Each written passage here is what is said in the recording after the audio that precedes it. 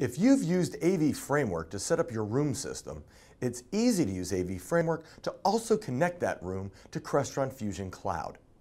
This will give you powerful remote monitoring and management, device and room usage reporting, and room scheduling capabilities. The touchscreen UI will automatically update. The name of the room will appear and a calendar icon will be added in the lower left corner. Now, Jason Moulden, one of our technical directors, will show us just how simple it is. Jason? Hi, and welcome to an AV Framework demonstration. Let's start by logging into our web interface for AV Framework. Once we've landed on our status page, we'll go to Configure, and then at that point, we'll select System.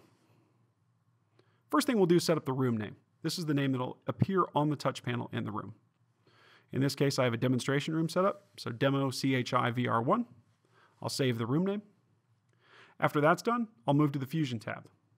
First thing I have to do is enable Fusion connectivity. So once I turn on enable, now I'll go in and I'll put in my room connection. This is going to be the name that will appear in Crestron Fusion while I'm doing my configuration. I'm also choosing to enable Fusion scheduling, which will bring a scheduling feature to the panel itself. Once I've saved those two options, I'll move to my configure and system settings. I'm going to activate the changes for this particular configuration to bring the room online with Fusion. You can see the room name changes on the introduction page. Now I'll log into the system and I can confirm that my settings are in place.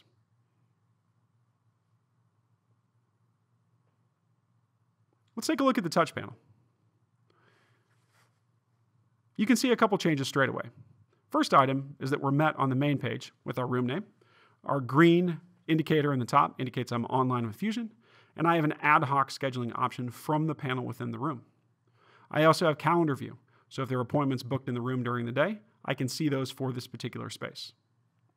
Let's go ahead and click on Reserve Now. The system will prompt me for a specified period of time. The request is made to Fusion. And what you can see here now is that the room tells me I have 22 minutes remaining in my meeting, it also shows me the name of the room that's booked it, so we know that's an ad hoc meeting in this case. As you can see, very easy to set up an AV framework system with Crestron Fusion, and it also brings some excellent in-room scheduling features to our AV framework based system.